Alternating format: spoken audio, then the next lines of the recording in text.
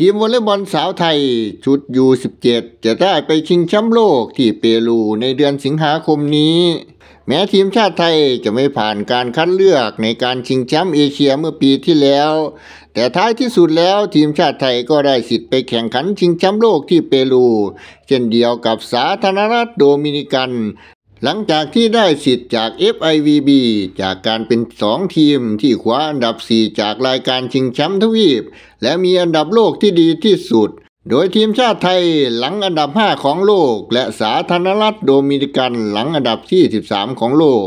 สำหรับรายการชิงแชมป์ U17 ที่ประเทศเปรูนั้นมี 16 ทีมเข้าร่วมการแข่งขันประกอบไปด้วย